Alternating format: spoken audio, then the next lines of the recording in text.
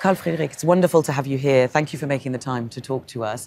Uh, we know that precision, quality are some of the most important things in watchmaking. How does Chopard approach that? Well, we, as a philosophy, Chopard thinks that uh, an outside independent certification um, or quality check, if you wish, is the right way to go. So, uh, 20 years ago, we set up uh, Qualité Fleurier together with Michel Parmigiani and, and Bovet. And uh, we still are an active uh, subscriber to, uh, to that. And we also uh, produce watches qualified for the Geneva Seal. So, this is basically our take on qualification uh, certifications. Yeah, essentially not marking your own homework, getting someone else to do it exactly. for you.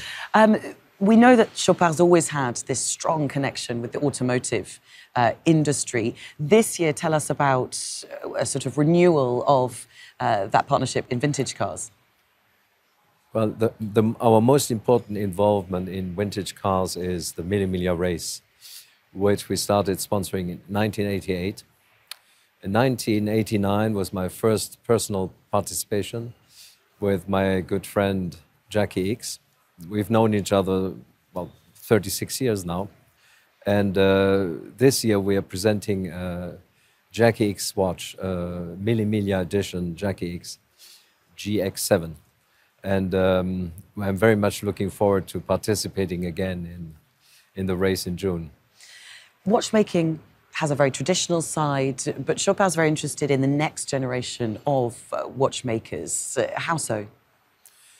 At Chopard, as a family company, we believe that uh, uh, preparing the artisans of tomorrow is essential.